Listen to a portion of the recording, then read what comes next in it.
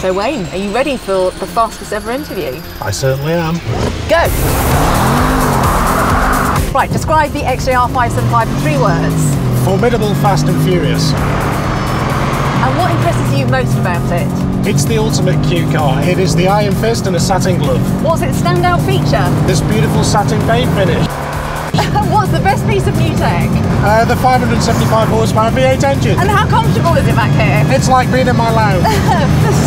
Slow and steady, fast and furious. Fast and furious, Manual or automatic? automatic with paddles, Driver or passenger? driver, Speed or comfort? speed, Favourite Jag Saloon? uh, Series 1 XJ, And what do you listen to? uh, heavy metal,